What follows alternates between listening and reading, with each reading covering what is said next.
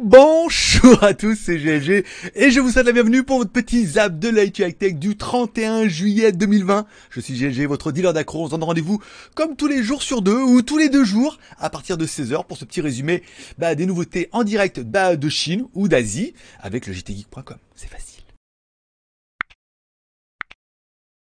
Allez, la dernière du mois de juillet, bien évidemment, puisque nous, on ne ferme pas en août. Hein. Il y en aura toujours un jour sur deux au mois d'août. On sera peut-être les seuls à faire des vidéos au mois d'août. Donc, du coup, peut-être ça vous permettra de découvrir cette chaîne et de vous abonner. Donc, une spéciale dédicace à tous ceux qui sont restés abonnés à GLG Vidéo. Tous ceux qui vont peut-être s'abonner en, tombant par hasard cette émission ou se dire, tout compte fait, euh, il mérite bien que je m'abonne. Ça, c'est bien. Et une spéciale dédicace à tous ceux qui mettent un pouce en l'air pendant l'émission. On défonce mm, facilement maintenant les 100, presque, on atteint les 150 pouces en l'air. Donc, du coup, allez, un petit jet de ta part. T'es là en train de te dire, ah, je pourrais moi aussi faire basculer le truc et l'aider à atteindre les 150 pouces en l'air. C'est gratuit pour toi. Il suffit de cliquer en bas et c'est trop facile. Après, le nombre de vues, je comprends pas. YouTube, il en met, il en enlève et tout. Enfin bon, les pouces sont là. C'est essentiel. Ça fait plaisir. On remerciera également nos mécènes. Vous avez possibilité de soutenir l'aventure financièrement puisque quelque part, on n'arrive pas à monétiser le truc en mettant un super chat pendant l'émission ou en m'offrant un café sur Tipeee. On m'a également demandé mon PayPal direct. C'est le cas de Maurice de Marseille qui m'a dit oh mais moi je préfère donner par PayPal au moins c'est d'être d'impôt et on paye directement. Merci également à Maurice d'être notre mécène du jour et merci également à nos super chats de la dernière émission qui sont Damien D et Sébastien P. Ils resteront dans cette liste jusqu'à ce que toi aussi en bas tu fasses un super chat, un Tipeee ou un don comme tu voudras et donc du coup tu prendras leur place et deviendras notre mécène de l'émission d'après. Allez, on commence par notre première news qui ce qui était surtout intéressant. Alors, on avait parlé déjà de la télé Xiaomi de 98 pouces. Et je veux dire, une télé Xiaomi de 98 pouces, t'es en train de te dire, ah, dans ton salon, déjà, est-ce que t'as la place? Et ensuite, bon, ça c'était bien. Mais LG va proposer une télé, alors une micro LED, pourquoi pas. Par contre la télé elle est pas micro, elle fait 163 pouces en 4K. Donc une télé euh, relativement massive. Alors c'est une télé qui est dédiée aux professionnels pour euh, un marché qui est quand même relativement spécifique. Il n'y a pas d'informations sur le prix, mais bon, ça fait quand même une télé de 163 pouces. Alors si avant toi tu galérais avec ton projecteur, l'éclairage, les trucs, là je veux dire avec une télé comme ça, t'es un peu au cinéma chez toi. Bon après ça doit piquer un peu. À ton avis combien ça coûte une télé comme ça? Moi, je dirais 100 000, hein, quand même, parce que là... Allez, on continue avec une news de Vivo, pas vraiment Vivo, c'est Iku. Hein, je rappelle, Iku est la marque un petit peu low cost de Vivo en Chine, hein, comme euh, Realme pour Oppo, comme Redmi pour Xiaomi, c'est compliqué, hein, comme euh, Honor pour non ça c'est fini ça. voilà. Bon, en fait, ils ont, il y avait un Vivo Iku 3 qui était déjà un petit peu dans les bacs, et là ils préparent une déclinaison 3 Pro qui aurait bien évidemment elle une charge rapide bah, supérieure et notamment on parle bah, peut-être un upgrade. Alors forcément le 865 pourrait passer en 865 plus normal et ça pourrait être un téléphone qui est dédié au gaming. C'est un peu la nouvelle tendance, la nouvelle mouvance, où du coup Iku pourrait devenir un petit peu la marque gaming de Vivo, au lieu d'être plutôt la marque low cost. Parce que des marques low cost, il y en a, mais plutôt la marque gaming et tout. Bon, on est sur vraiment des upgrades de téléphone où c'est tous gaming ou pas gaming, on a quand même maintenant des, bombes, euh, des bombes atomiques. Si t'es prêt à mettre entre 800 et 1000 balles dans un téléphone, t'as quand même déjà quelque chose qui est euh, trop. Allez, on parlera bien du Oppo Reno 4. Alors, je vous rappelle, le Oppo Reno 3 Pro a été rebadgé par OnePlus pour faire leur propre téléphone et tout, design unique, nanana. Mais il y a le Oppo Reno 4. Alors, il est disponible en Thaïlande hein, depuis un petit moment. On voit de la pub partout en ce moment. Et c'est vrai qu'il est pas cher. Alors, si on prend par exemple notre Oppo Reno 4, on a quand même 8 plus 128, un écran de 6,4 pouces. Alors, apparemment, c'est du AMOLED hein, dessus. Un processeur SD720 quand même pas mal. 3 caméras à l'arrière, 48 plus 8 plus 2, caméra frontale 32 millions de pixels. Euh, après il vous donne plein de cadeaux avec, alors je parle même pas 4000 balles de cadeaux, ça fait 120 balles, il donne quand même euh, ici un haut-parleur, des sacs à dos, une carte VIP, des écouteurs JBL et tout. Enfin, en Asie, c'est un peu comme ça. C'est pour pour vendre, il vous donne plein de cadeaux et le téléphone ne vaut que euh, 11 990 bahts en Thaïlande, soit 325 euros. Alors 325 euros, tu as fait quand même un beau petit téléphone, pas excessivement cher, hein, quand même moins cher que pour euh, par rapport à, au OnePlus Nord.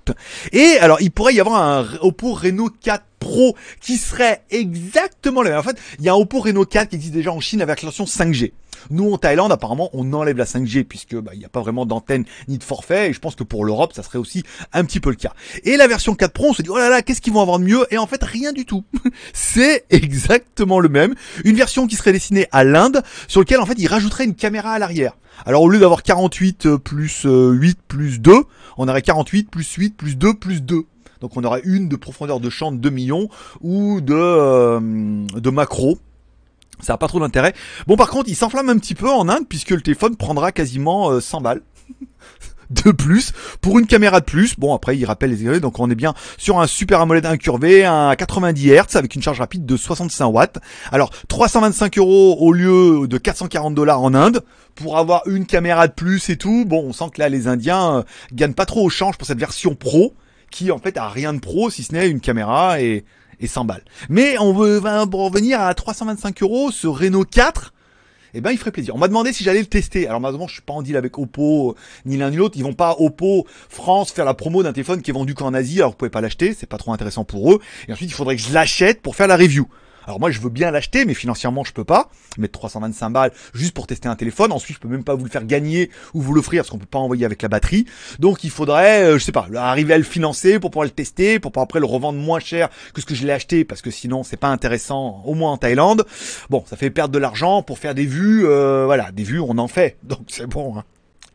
Allez, on continue avec un petit peu un fantasme sur patte. Alors le Samsung Galaxy M31, qui est déjà disponible également en Thaïlande, arrive en version M31S, donc la version sport, avec un écran Infinity O, comme ils aiment bien le faire, un écran de 6,4 pouces, 4 caméras, dont une 64 millions de pixels IMX 682, et une charge rapide 25 watts. Alors, je rappelle, 18 watts, c'était encore la charge rapide en 2019. Hein. Et en 2020, encore un petit peu, même si euh, on voudrait beaucoup plus. Si on prend notre M31, par exemple, on avait quand même un écran AMOLED 6,4 pouces et tout. Enfin, le téléphone est quand même plutôt joli. Hein. Une caméra 64 plus 8 plus 5 plus 5, un processeur octa-core 6 plus 128, nanana, batterie 6000 mAh. Trop bien. Le prix 7500 bahts, soit 200 euros. Attends, en train de te dire, attends, 200 euros. On avait un écran, enfin on a toujours un écran AMOLED de 6,4 pouces, caméra 64 à l'arrière, processeur octa-core, 628, batterie 6000, tout ça en Samsung. Ouais. Et ouais, c'est ça l'Asie, euh, l'Asie les gars. 200 balles sur la Zada, tu l'achètes, tu l'as dans deux jours. Voilà. Et eh ben le M31S, lui du coup serait une version bah, un petit peu améliorée, toujours un écran de 6,5 pouces avec un Infinity O, ça veut dire qu'on aurait plutôt un punch display dedans, alors qu'avant on avait plutôt une petite encoche. Euh, on aurait toujours là, alors on va prendre plutôt ce qui est intéressant, l'écran Super AMOLED 6,4 pouces au lieu d'un écran goutte d'eau, c'est marqué là. Bon par contre, on arrive sur un Exynos 9611, bon c'est le même que le M30, d'accord, mais c'est quand même bien déjà. Euh, nanana, M30, alors 6 plus ou 8 Go plus 128, une micro SD, ah a en plus les micro SD, ah trop bien.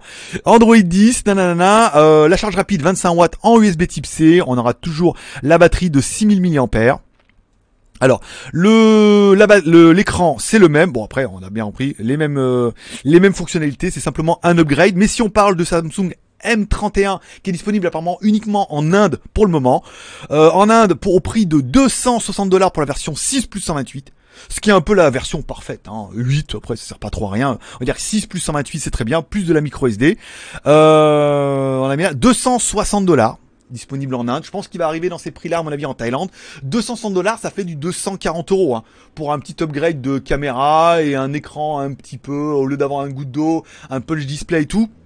On est quand même entre 200 et 300 euros des téléphones qui ont 64 millions de pixels quoi et un écran super AMOLED et tout et moi-même je me dis tu vois dans ce genre de moment où si je devais casser mon téléphone et en racheter un bah c'est certainement ce que je prendrais quoi, entre 200 et 300 balles t'as 6000 mAh c'est 260 Allez, on continuera dans les news avec une news de Sony qui pourrait nous sortir deux appareils le 6 août en Chine, notamment le Sony Xperia 1.2 c'est le 1 mais le deuxième. Voilà. Donc euh, ou des écouteurs de alors on sait pas trop puisque quand on prend le teaser, ils annoncent des nouveaux produits et tout mais les derniers produits bon qui sont un petit peu dans les bacs, c'est soit leur nouveau téléphone même si on est un peu d'accord bah, avec Sony, le téléphone, euh, voilà, même si celui-là bah hein, il, est, joli, on est d'accord hein. Un écran OLED de 6,5 pouces en 90 Hz, c'est un peu la tendance. Un Snapdragon 865 avec 8 plus 256, une prise casque, tout ce qui va bien, des caméras de dingo forcément d'origine Sony pourquoi pas. Mais il y a également leurs nouveaux écouteurs avec réduction de bruit qui sont toujours un upgrade d'un upgrade de l'ancien qui était déjà quand même très très bien. Donc on se dit que celui-là sera encore mieux. Il faudra attendre le 6 août, ça arrivera d'abord en Chine, ils estiment peut-être qu'il y a un plus gros marché ou à cause du coronavirus, c'est peut-être ce qui est plus facile pour eux pour le lancement dans un premier temps. À voir. Moi je sais que Sony en téléphone euh, non. pourquoi pas Après peut-être qu'il y a encore des fans qui disent moi Sony euh, j'en ai eu un et je serais prêt à craquer. Mais sinon, il y a le Samsung M31s quand même. 260 dollars. Allez, enfin, je voudrais parler d'une news que j'ai tombée hier, en fait, en précommande, et même, enfin, sur AliExpress, ils sont déjà disponibles. Le nouveau bracelet connecté Baquet M5 qui vient d'arriver. Alors, au niveau recherche et développement, ils se sont pas cassés la tête. Ils ont pris exactement la même chose que le Mi Band 5. Alors après, je ne saurais pas vous dire la qualité, le, comptage, l'application. On sait pas, pour l'instant, on est sur de la précommande. Bon, il est que Bluetooth 4 au lieu de Bluetooth 5. On est d'accord sur l'écran, ça doit pas être aussi bien, aussi merveilleux et tout. Mais le produit, il est séduisant et surtout, il est vendu en précommande sur exemple sur Banggood à 7,77€ et sur AliExpress déjà disponible donc forcément en précommande mais ils te disent pas à 7 euros. Donc là, tu es en train de dire 7 euros. Alors, tu auras forcément moins bien qu'un Mi Band 5, puisque le Mi Band 5, il compte super bien, l'application, elle est géniale, il y a les mises à jour, l'écran, les fonds d'écran, voilà. Il y a un environnement, un écosystème autour qui fait que, je vais pas dire que ça vaut 20 balles de plus, mais voilà, Xiaomi restant Xiaomi. Là, on est, je vais pas dire sur une contrefaçon, mais ça ressemble beaucoup. Mais on est sur un produit connecté qui vaut 7 balles et qui peut par exemple, dans ton cas où tu es en train de te dire j'en veux un, mais je sais pas, mais 30 balles, mais faut voir et tout. Là, tu te dis bon bah voilà, pour moins de 10 balles, tu commandes le truc 7,77€ ou 7 euros, tu le commandes, free shipping, tu le reçois, tu le portes un peu. Soit tu le vois qu'en fait tu le mets jamais et que ça te gonfle et du coup bon bah voilà, tu trouveras toujours quelqu'un à qui le donner, un gamin ou un cousin et il sera très content ou quelqu'un qui court dit oh là j'aimerais bien en acheter un, dis tiens j'ai celui-là et c'est le, tu verras ce que t'en penses. Si tu vois que c'est vraiment bien mais que c'est pas assez performant, tu pourras craquer sur un Mi Band 5. Si tu vois que ça te sert à rien, bon du coup ça fait que 7 balles de perdu. Tout 7 balles de perdu. On dirait un film de Tarantino. Et enfin, ont été annoncés officiellement le nouveau Huawei Talkband B6 et la Huawei Children Watch 4X. Alors, je les ai mis les deux ensemble, puisque je trouvais que c'était assez rigolo. Alors, le bracelet connecté euh, Talkband B6, c'est un bracelet connecté qui intègre une oreillette. C'est-à-dire, tu déclipses le LCD, ça te fait une oreillette Bluetooth. C'est pas mal. Ils ont mis un gros processeur dedans, hein, au niveau du traitement du son, ce qui permet bah, d'avoir quelque chose de quand même plutôt sympa. Euh, se décline. Alors, par contre, au niveau des prix, euh, c'est nawak. Hein. 1000 yuan, ça fait 142 dollars ou 1100 yuan ou 1500 yuan. Alors oui, c'est un bracelet euh, super classe avec oreillette Bluetooth. Je pense que vous êtes peut-être pas tous prêts pour ça. Un écran AMOLED, un 580. Le produit, il est quand même relativement quali et il fait toutes les fonctions et tout capteur et tout. Et puis, c'est vrai que maintenant que j'y réfléchis, 150 balles. C'est vrai que n'importe quel Mi Fit, nana, non pas Mi Fit, mais euh, il y a des marques en Europe comme ça. C'est vite 150 balles pour un bracelet qui est ridicule, quoi. Donc là, t'as quand même un bracelet AMOLED, oreillette Bluetooth. Ils ont mis un gros processeur dedans au niveau du traitement du son et tout. Pourquoi pas? Pourquoi Moi je dirais on me l'offrirait, euh, je serais assez fan, parce que comme ça je pourrais m'en servir pour une oreillette, ça me ferait un bon bracelet connecté. J'essaierai d'en avoir un quand même. Maintenant que, voilà, si je le paye pas, euh, c'est mieux. Et enfin, on parlera du Huawei Children Watch, une montre connectée forcément qui est dédiée bah, aux enfants, avec alors, deux caméras frontales et trucs pour s'amuser. Il y a également les modes sport pour s'amuser avec leurs amis, savoir qui compte le plus, qui court le plus dans la cour, comme ça, comme des petits voilà, qui fait le plus de pas dans la journée. Et également des fonctions GPS et des fonctions connectées en 4G notamment les fonctions d'espionnage pour les parents, pour savoir où il est, à quel moment, via une application GPS, la possibilité souvent sur ces produits-là d'avoir l'appel en espion, c'est-à-dire d'appeler et que le truc il appelle pas, ça décroche automatiquement et t'entends ce qui se passe et tout. Après de là, ce qu'on peut voir à la voir à la caméra et tout, je pense qu'il n'y a qu'un pas. C'est un produit chinois pour les Chinois, donc là-bas c'est moins dérangeant puisque les enfants sont les enfants rois et les enfants sacrés, donc euh, il faut les protéger. On n'est pas sur de l'espionnage. En France, on dit oh, la liberté, oh, hashtag euh, sauver mon enfant GPS. Voilà, bon, voilà, on sait comment ça se passe. Bon, le produit, il est sympa sans plus. Il vaut pas excessivement cher, hein, 1398. Bon, moins de 200 dollars. C'est quand même un produit d'une jolie montre pour un gamin et tu peux savoir où il est tout le temps ou pouvoir l'appeler et quelque part il peut décrocher et le voir comme ça en temps réel, ou lui en cas d'urgence de pouvoir t'appeler. Ah, c'est une petite sécurité qui, bah, ça les vaut carrément. Putain, j'ai l'impression que ça dure une heure, mais parce que j'ai coupé, je suis revenu et tout. Voilà bon. Donc du coup, on parlera forcément de la nouveauté que vous n'avez pas pu passer à côté, le nouveau Alors c'est pas un appareil photo, c'est un appareil photo dédié à la vidéo. Le Sony A3 euh, A3 alors A7S 3. Putain. Alors ça pour le référencement, mettre les trois petites barres, je sais pas comment ils font. hein. Bon, le A7S 3, alors euh, moi je suis Guillaume Rouchon, enfin j'en suis plein comme ça, je les ai tous vus, Steven et tout. J'ai vu je pense toutes les vidéos de trucs jusqu'à 01 net. enfin là c'est pas vraiment un test. J'ai vu toutes les vidéos comme ça, une caméra, qui est pas vraiment fait pour la photo puisqu'au niveau du nombre de pixels c'est pas ouf mais ça permet de faire des vidéos de dingo jusqu'en 4K alors certains disent 120 fps certains disent 100 fps et en fait la nuance elle se joue entre le PAL et le NTSC en Europe, à cause du format PAL, on, on est à 100 fps apparemment, comme j'ai compris, et euh, sur les autres, on pourrait aller jusqu'à 120 fps pourquoi pas. Euh, c'est une caméra de dingo qui filme dans le noir. Les ISO, ça monte. Il a, je crois que c'est Steven qui a fait une vidéo. Il fait voir dans le noir, il monte les ISO à un truc de ouf. Putain, on voyait comme si on était en plein jour. Alors après, bon, c'est un peu crado, hein. Mais ça prouve vraiment que c'est vraiment une caméra. Alors, est-ce que c'est le genre de caméra, moi, qui me plairait? En fait, pour moi, pas du tout j'y comprends rien. Les ISO, les machins, les trucs, je comprends rien. Moi, je suis un, un bourricot. Moi, j'appuie, je vais une caméra. Bon, pour moi, une caméra, ça ressemble à une caméra. Voilà, c'est long comme ça, comme celle qui est là-bas derrière, comme celle qui est là. Je clique dessus, ça fait des vidéos. Après, appareil photo, réglage, focus, l'ISO, les trucs, je comprends rien. Donc, du coup, c'est pas du tout le genre de produit. En plus, ça vaut 4000 balles. en plus, faut acheter un optique dessus qui soit adapté et tout. Oui, au niveau des rendus, ça doit faire des trucs de dingo. Mais euh, ma caméra Sony là-bas fait des trucs bien aussi en 4K un peu vieillotte maintenant, hein, quand même presque 3 ans, voire 4. Mais euh, voilà, pour moi, une caméra fait les caméras, et là, je saurais même pas m'en servir. Donc ça serait 4000 balles, ce serait vraiment que du plaisir.